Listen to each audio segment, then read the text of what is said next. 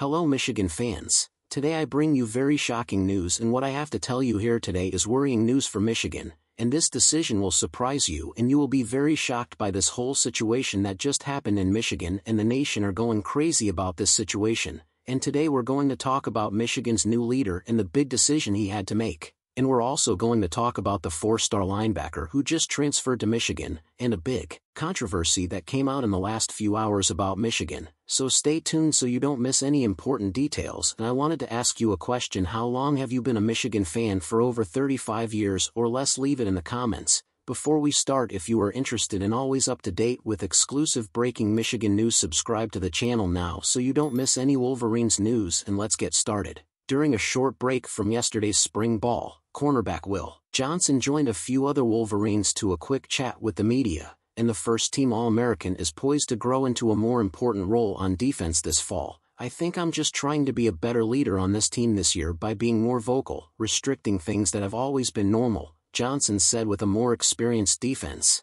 And his football acumen will be essential for a Michigan secondary that is likely missing safety Rod Moore this season last week. Moore suffered a significant knee injury, reportedly to the anterior cruciate ligament, and his future in that regards the 2024 season is in serious jeopardy. So Johnson will be asked to help solidify the defense on a defense that was already replacing several key pieces from its national championship winning team a year ago. Now let's talk about the talented young signee. Michigan football recruiting it's been somewhat slow as the Wolverines adapt to the new team under head coach Sherrone Moore but it's starting to heat up as Moore begins welcoming prospects to campus while also reaching out to those who have interest. In the maize and in the blue among those who have interest is four-star Georgia Wayne County linebacker Tavian Wallace who is ranked by 247 Sports proprietary rankings as the number 26 player in the country regardless of position and which would make him a five-star as well, that are distributed. Before closing I would like to know your opinion on this breaking news. Leave your opinion in the comments and see you next time Blue Nation.